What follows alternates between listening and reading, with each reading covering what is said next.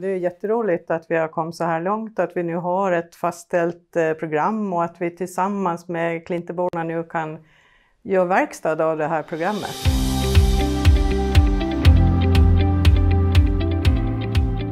Vi träffade först 100 elever i Klinteskolan och sen så hade vi två workshops med företagare, organisationer, föreningar i Klintehamn.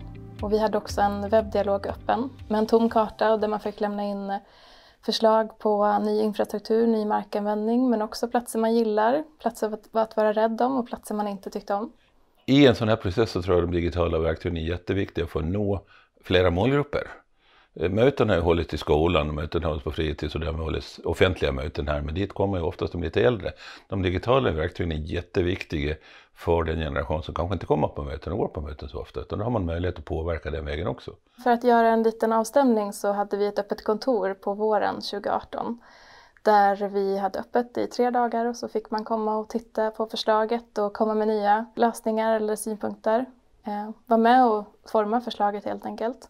Sen hade vi traditionellt samråd tidigt 2019 där vi fick in massa samrådsyttranden, bland annat då genom det digitala samrådet som vi hade.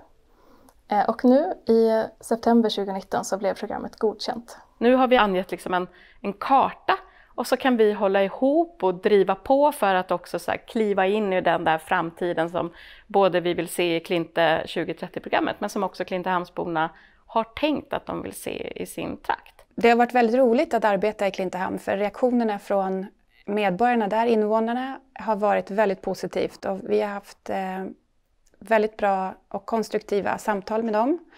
Eh, och eh, jag är imponerad över hur mycket tid och kraft och energi de har lagt ner i den här processen. Så det är ett varmt tack till alla som har ställt upp för det har betytt otroligt mycket för det här resultatet. Jag tror absolut att planen kommer att ha en jätteviktig påverkan på det här. Nu, nu har vi en gemensam ram det händer saker i Klintehamn.